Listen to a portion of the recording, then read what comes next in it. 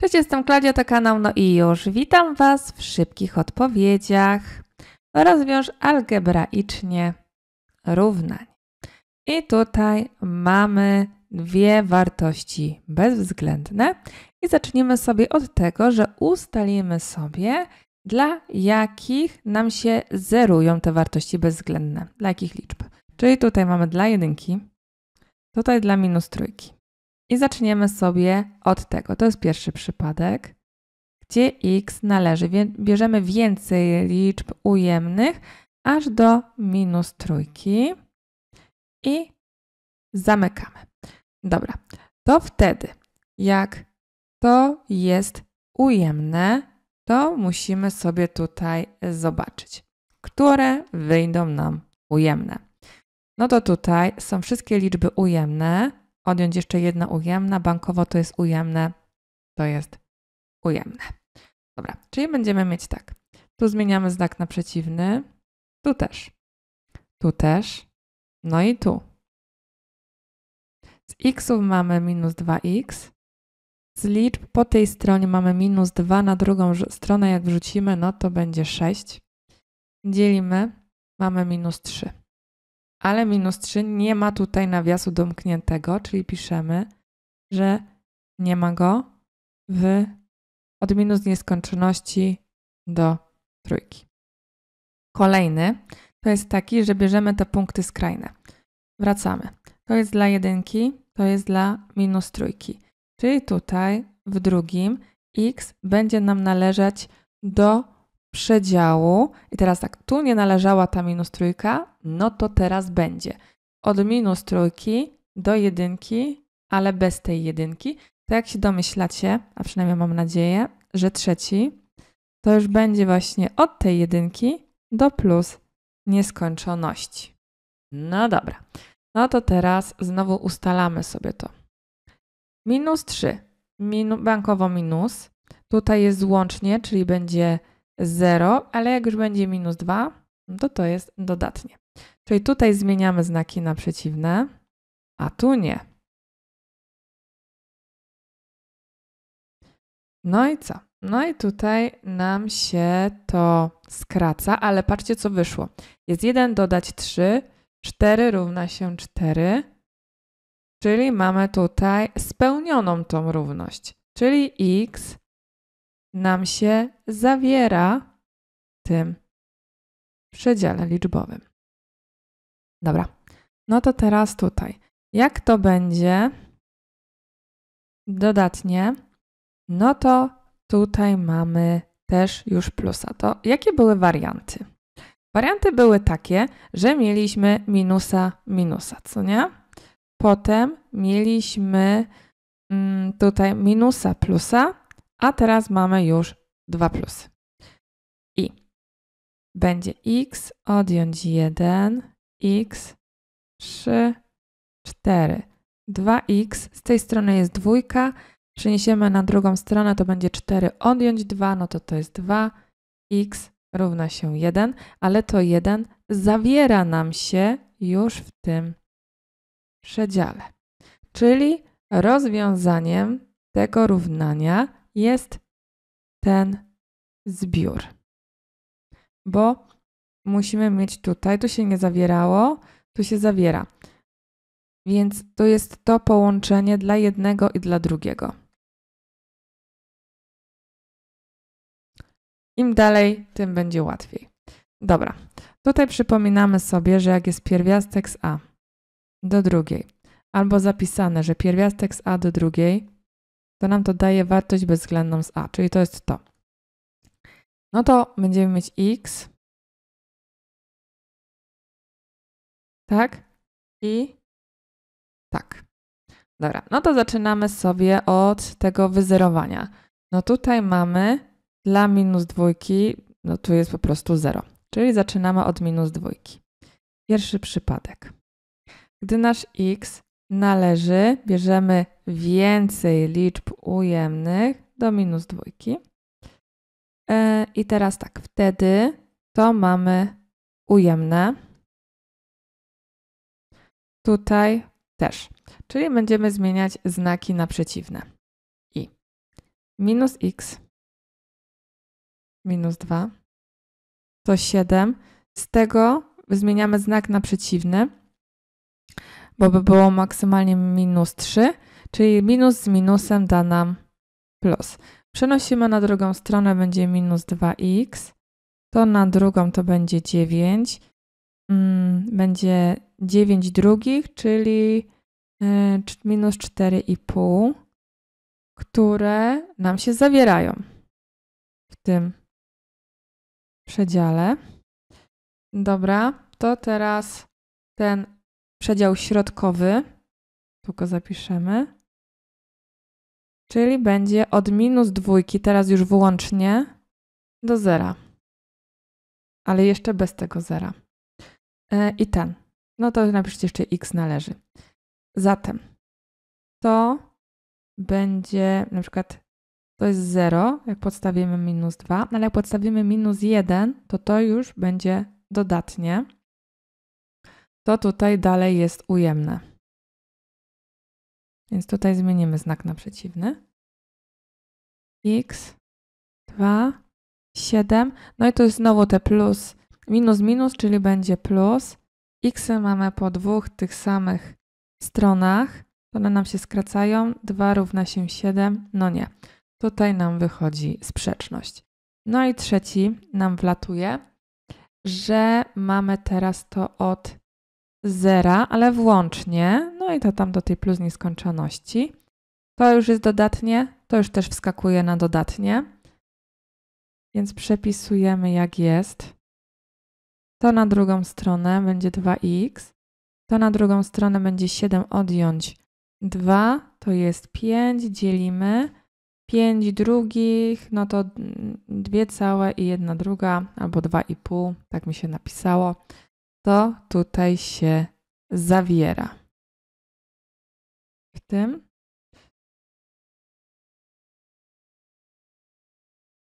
Ok.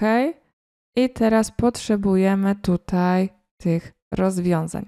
Rozwiązaniem będzie mm, x minus 4,5 i ten.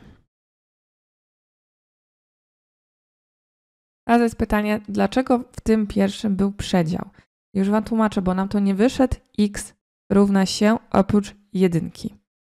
Ok? Och, dobra. Teraz widzę, że jest to łącznie z jedynką.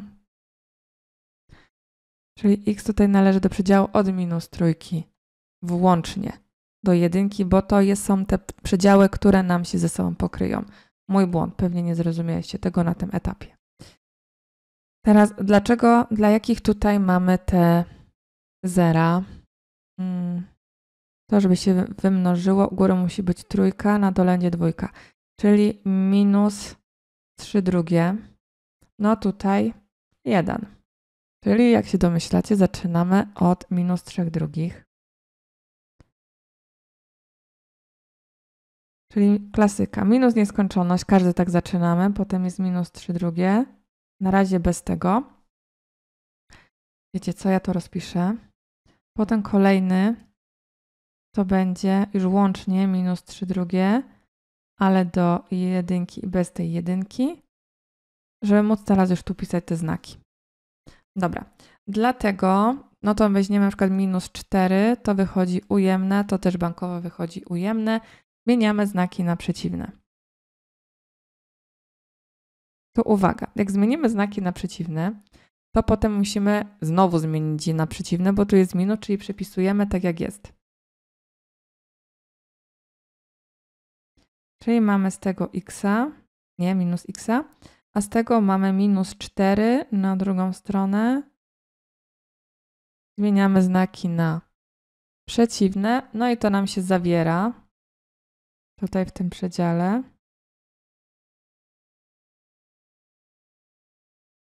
To teraz tutaj, jak będzie to łącznie i na przykład już tylko minus 1, to ten wlatuje już na plusa.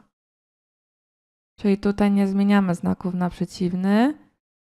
Hmm, tutaj jeszcze tak, ale to wtedy zapisujemy tak jak jest, bo minus z minusem daje plus. Mamy 3x. Tu będzie 2 na drugą stronę, czyli to jest minus 2, czyli 2. 2 trzecie, 2 trzecie nam się zawiera w tym przedziale. No i ten trzeci, czyli lecimy już od jedynki do plus nieskończoności. Czyli ten wlatuje już też na plusa. Czyli będziemy tutaj zmieniać znaki na przeciwne. x 4 na drugą stronę będzie 0 mm, nam z tego wyjdzie i 0 nam się nie zawiera w tym przedziale, więc nie bierzemy go pod uwagę. Zatem e, mamy tutaj równości na x'ach, no to mamy dwa rozwiązania. Ok, tutaj mamy wzór skróconego mnożenia,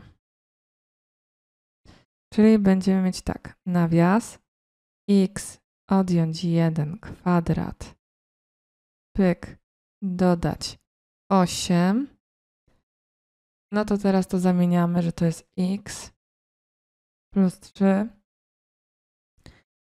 x odjąć 1 plus 8. Dobra.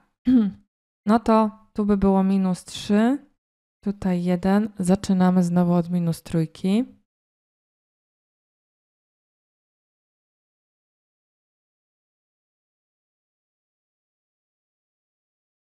To wtedy, to już drugi zapiszę, że on będzie wyglądał następująco. Dobra. I znaki. Tutaj to będzie ujemne. To też. Czyli zmieniamy te znaki na przeciwne.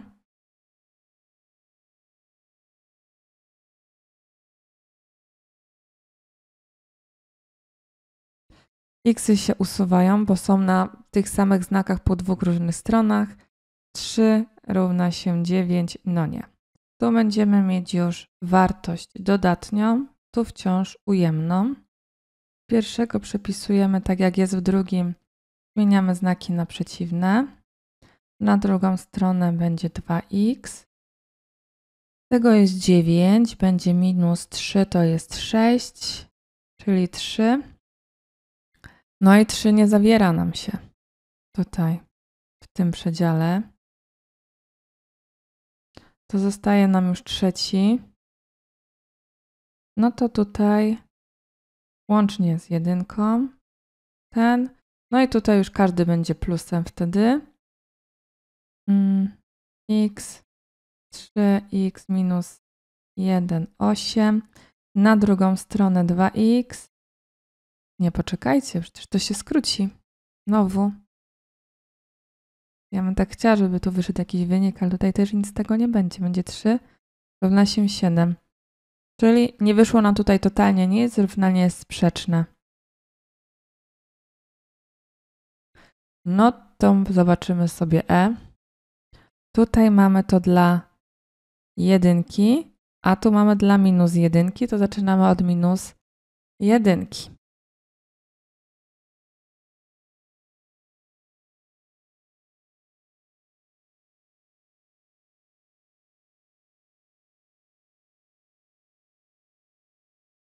Dobra, czyli mamy to tak. I no dla obu na razie będziemy mieć minusa.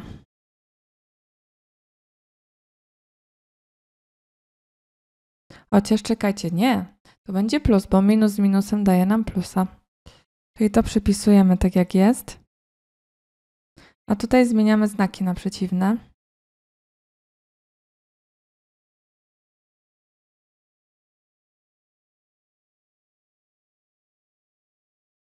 Ok. No i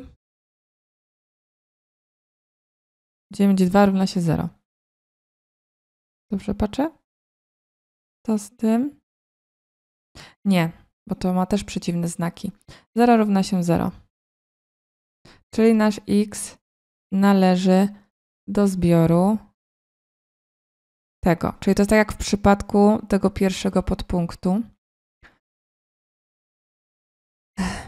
To teraz tu będziemy mieć na przykład 0 bez jedynki, no to to będzie dodatnie. A to 0 też będzie już dodatnie. No to tutaj mamy 1 odjąć 1x, 2x0. Tych xów nie ma. Jest 2x. Tego jest 2. To na drugą stronę będzie minus 2. To x jest minus 1. To należy do tego przedziału. I ten ostatni przedział no to będzie już od jedynki. Mam wrażenie, żeby miliony lat to zadanie. Mm. Teraz już oba to będą. Oba będą dodatnie. Nie, ten się stanie ujemny teraz. Bo jakby nam na przykład tutaj 3, no to będziemy 1 odjąć 3. Ten będzie dodatni. To tu zmieniamy znaki na przeciwne. No to przepisujemy jak jest. Jedynki się skracają, tu jest 4x równa się 0, no to x jest 0, ale 0 nam się nie zawiera tutaj w tym przedziale. Dobra, czyli bierzemy pod uwagę to, bo wyszło i to, więc musimy dać tutaj równość na minus jedynce, czyli nasz x należy tutaj do przedziału od minus y, nieskończoności do jedynki. Były już dwa takie zadania, więc wydaje mi się, że ten tutaj już wiecie, jak to robić. To spróbujcie zrobić to ostatnie sami, zatrzymajcie ten filmik, potem wróćcie do mnie i sprawdzimy. Tutaj będzie minus dwójka, to się z dwójką musi skrócić. To u góry jest 7. 7. Drugich dwójka jest dwójką, 7. Dobra. Czyli wygląda to tak. Zaczynamy od minus dwójki.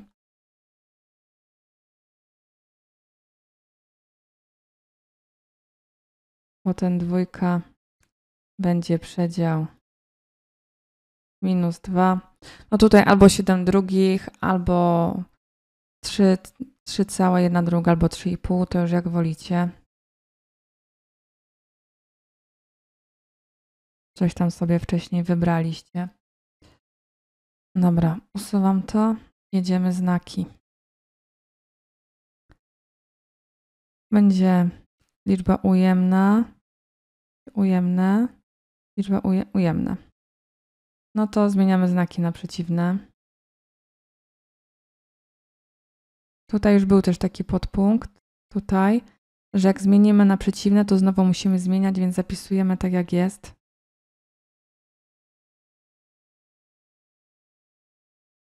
To możemy skrócić po obu stronach, czyli zostaje nam 2x.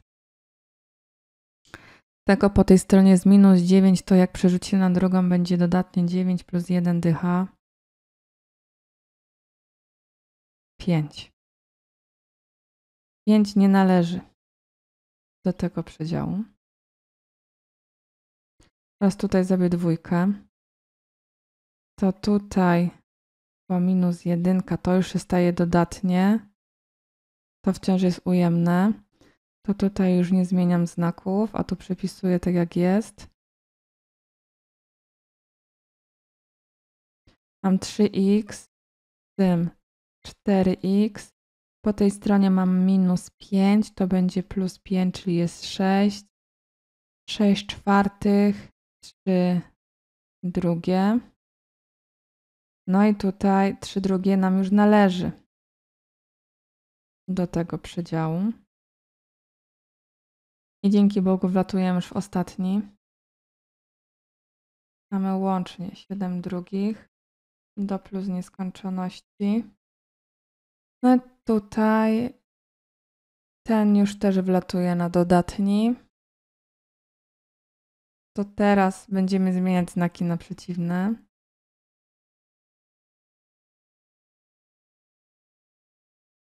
no to mamy z tego minus x. Tutaj też jest minus x. To xów nie ma. Z tej strony mamy 9. Z drugiej strony mamy 1. No to nie ma. Zatem to jest nasze jedyne rozwiązanie x, które się równa 3 drugie.